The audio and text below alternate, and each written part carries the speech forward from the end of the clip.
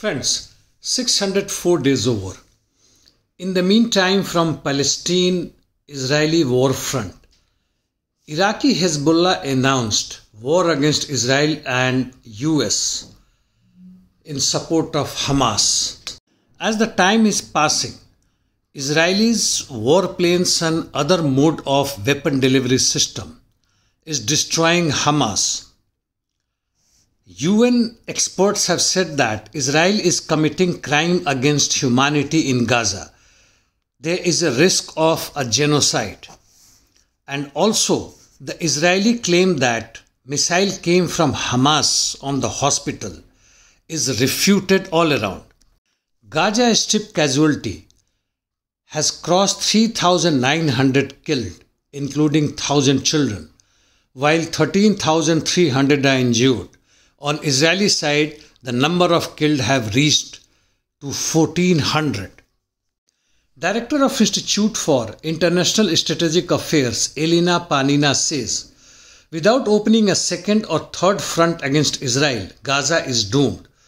Although everything will not be easy for Tel Aviv, but clearing this sector will only be a matter of time.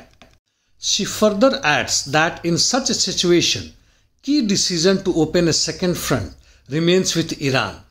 And of course, the most powerful enemy of Israel, which has access to border of it, Lebanese Hezbollah, is also focused on it.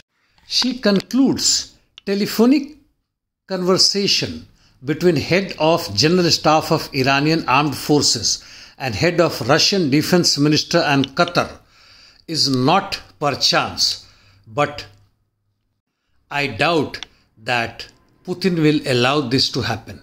From Ukraine, on southern border from Kherson, Ukrainians assaulted Krinky and entered the village.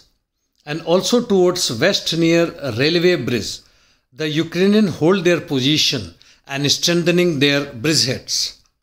Towards Aleshkinsky Island, more Ukrainian reinforcements are pouring it and they are also clearing Pashanivka where they had entered. Seems Ukrainians are planning attack on Oleshki and Novaya Kakhovka in near future. On Zaporizhia front, nothing very special. Pyatikhatki, no changes. Verbov and Kopani direction, limited offensive by Ukrainian forces but no gains. On Orikho sector in entirety, no changes. In Rimivki salient. Ukrainians' activities limited offensive again. However, they made some small advances in grey zone west of Novodonetsk. On the eastern front, ISW says that Russian army made some gains towards north of Spartak, which is 4 kilometers south of Avdiivka, and Novomykholivka, which is 10 kilometers southwest. Otherwise, in Avdiivka front, active fight is on in both north and south direction after some relatively calm period.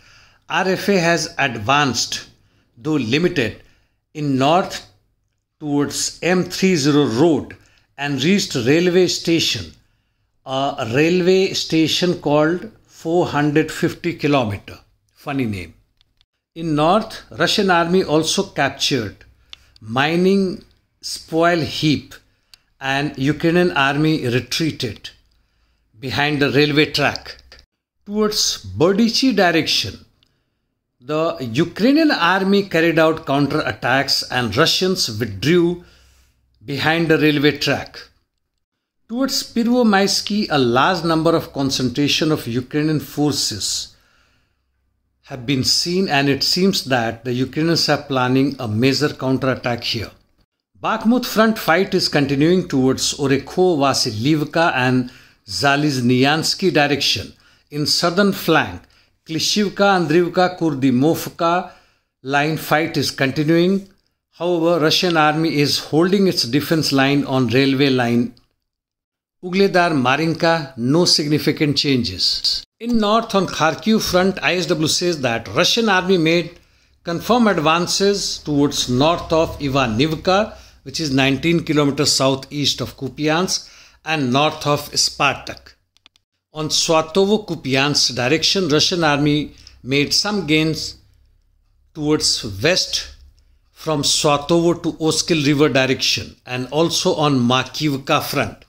Liman, Ukrainians launched close to half a dozen of assaults, basically hit and withdraw tactical operations, but incurring losses to its own side. Both sides are using interdiction missions. Russians launch attacks on Ukrainian targets in central and eastern Ukraine, Pavlograd, Sumy, while Ukrainians are continuing their newly acquired long range weapons, using them. Biden has called 100 billion funding to Israel and Ukraine a smart investment for America. Yes, it is investment for war industries and Biden is nothing but their old and senile puppet. Kazakh Vice Minister of Trade has announced ban on export of various goods to Russia subject to the sanctions by US and NATO forces and that's the end of my video today thanks